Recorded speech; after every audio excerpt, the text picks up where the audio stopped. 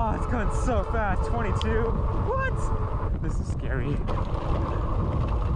Oh, God. this is crazy. I never thought an e-bike would be this fun on the trail. Hello everyone and welcome back to the channel. My name is Talalipop and today we're going to be testing out this Magicycle electric bike on a mountain bike trail. Now the trail I'm going to be riding today is Browns Ravine Trail in Folsom, California.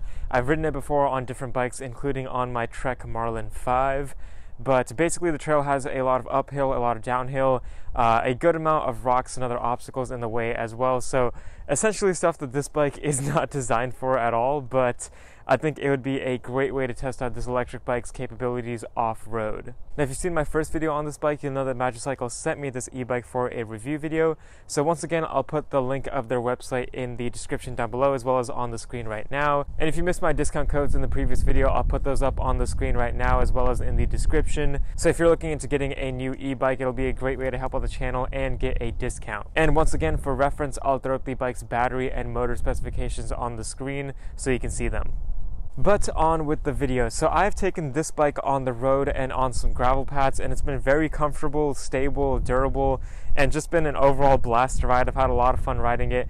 But today we're going full send and taking it on a challenging mountain bike trail. And at the end of the video, I'll basically give you my thoughts on if I feel like the bike is worth it for mountain biking and just worth it in general for the $1,600 price point. So I'm pretty excited, but also pretty nervous because I've never ridden an electric bike on a trail before. So wish me luck and let's get started. So this trail will help us test the bike's durability as it's being tossed around. And I was thinking we can also test out its range to make sure that the bike can last for a full trail day since I don't think I'll be able to pedal this bike back home uh, without any pedal assist if it dies. So I'm starting the bike out at a 100% battery. I don't know if you can see it on the screen there, but it is 100% fully green. And the company does claim a range of 30 to 55 miles on a full charge. So let's go on this uphill and start off the trail. And I do also want to see how much the weight of this bike affects the riding since it is almost 80 pounds. Um, I'm going to try to lay off the throttle because I know that's not the safest thing, but let me just try using it up here. Ooh, I think I'm gonna try to take it a little slower. Okay, I'm doing throttle right now. I'll do pedal assist for a second. Kind of shift to a easier gear. oh my god, I gotta get used to this, guys. I think for this trail at least, I'm gonna focus on using the pedal assist or the, the electric motor in general more for the uphills because this trail does have a lot of ups and downs. So far, I do feel like I'm bouncing around on this bike. This is really, really fun though. I almost didn't take it on this trail since I was kind of worried about how it would do.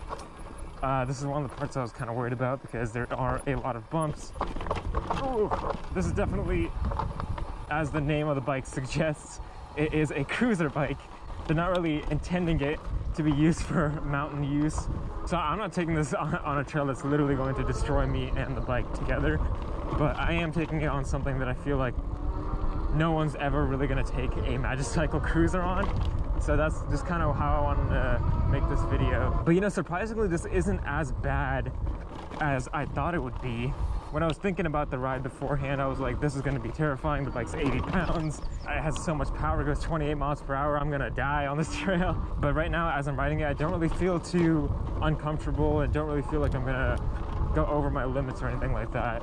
I'm on pedal assist one right now, so the lowest level, and it still feels pretty good. I'm gonna hit the throttle right now and see. Holy crap. yeah, I wanna hit this jump. I'm not gonna do that on an e-bike. I feel like I'll destroy it or destroy myself, one or the other. The downhills, I feel like with the position of this bike, I feel a little too far forward. Um, I do actually have the seat slammed on this bike right now. It's not at my normal riding position when I'm going on the road because obviously don't really want a high center of gravity right now while I'm trail riding. Let me throttle this one because it's getting a little flatter. Woo! Oh man, this is fun. Holy crap. Okay, so so far, this Magicycle is holding up a lot better than I thought it would. I'm definitely feeling less nervous on it now and I'm having a lot of fun. That's really what e-bikes are meant for, in my opinion, just for fun. like if I want exercise, I'm definitely not gonna take an e-bike on the trail. Uh, but if I wanna have a really fun time, just feeling like I'm on a roller coaster or something, this is definitely the way to go. I'll go off this little jump. okay, let's throttle this. Sorry, every single time I hit that throttle, I always make that woo noise. I can't even, it's like instinctual at this point. Like I can't even uh, control that. It's like when you're on a roller coaster, you just want to scream. I really wanted to do this because obviously my channel is mainly mountain biking focused. I didn't want to just show you guys a bunch of boring videos of me riding this bike on a road.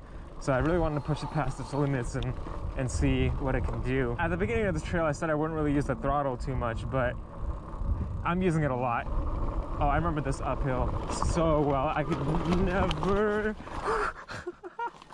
I was gonna say, I could never complete this uphill on a normal bike, and it looks like I can't do it on the e-bike either. It's pretty bumpy and rocky uh, and technical up here. Wow, this is funny, guys, because normally at this point, uh, I take a break because I'm so tired um, from that uphill. But right now, I feel at 100%, like I'm not even the slightest bit tired. I Go down this pretty fast.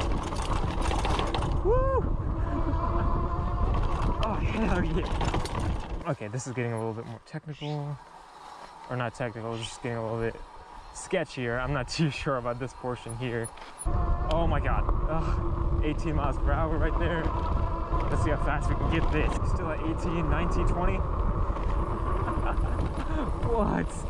I'm just flying down this trail. This is crazy. Holy crap. Oh, it's going so fast. 22. What? Holy crap. Oh, Ooh. almost lost my grip there.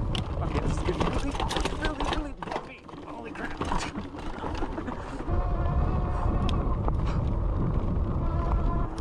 the trail starts getting a little bit more rough here. Oh, there's deer. hey. How's it going? Okay. oh. oh, I fell off there. Oh no no no no no no no no no no no no Okay. See now I'm feeling like the brakes need to be better. Oh man. this is definitely not gonna show up on camera, but it's really steep and I'm freaking out. Through these trees. Okay. I'm just worried about the traction on these tires now because because I'm trying to go full throttle here and it's it's still not going too fast because it's going uphill. Whew. Oh, okay. See, I might throw up the pedal assist and see. Oh, holy crap, holy crap. Oh my god. Picking your lines on this bike is a little bit more difficult as well because the handling is not as good. Obviously, I am running freaking cruiser handlebars on this thing. Let me go on the road and just kind of have some fun. Oh my god. Okay, I'm gonna try to use pedal assist more. We're on pedal assist 7, which is kind of insane, but let's go. Oh my god.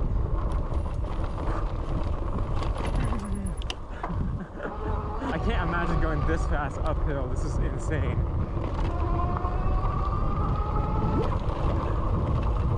Oh god. That's where I felt scared for my safety. when I just kind of mob as fast as possible. This is so insanely fun. Obviously, this does not replace a, a normal bike, a normal non-electric bike. I still very much enjoy riding those on, on trails, including this one. Oh my god. I try to use throttle in these areas so I don't get pedal strikes on an e-bike. I feel like that's not the funnest thing. Wow, this is so easy. I'm gonna decrease the pedal assist in case I accidentally pedal too fast into a tree or something. Okay, okay, okay. Also, I apologize if I'm talking too much, guys. I just getting so excited about this bike. I kind of want to talk about everything. Ooh. Oh my god! Oh my god! Oh my god! I'm gonna die.